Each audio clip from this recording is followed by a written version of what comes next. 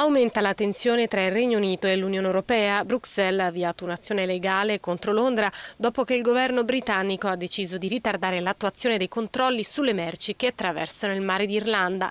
La mossa del Regno Unito viola l'accordo sulla Brexit firmato solo tre mesi fa. In una lettera inviata a Londra, la Commissione europea afferma che sono state compiute violazioni del diritto internazionale da parte del Regno Unito che vanificano lo scopo stesso dell'accordo e minano la fiducia reciproca.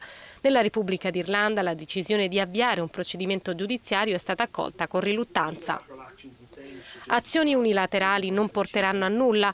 Ciò di cui abbiamo più paura in Irlanda è una situazione destabilizzante. La Brexit è il grande destabilizzatore e l'azione del governo britannico dell'ultima notte ha reso la situazione ancora più difficile.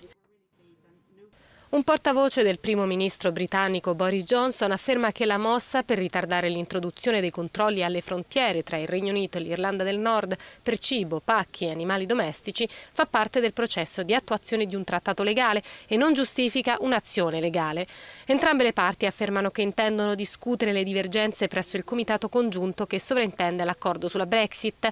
La lettera dell'Unione Europea a Downing Street richiede una risposta formale del Regno Unito entro un mese. Questo è solo l'inizio di un processo che potrebbe portare il caso davanti ai giudici della Corte di Giustizia europea, uno scenario sgradevole per i fedeli sostenitori della Brexit nel Regno Unito.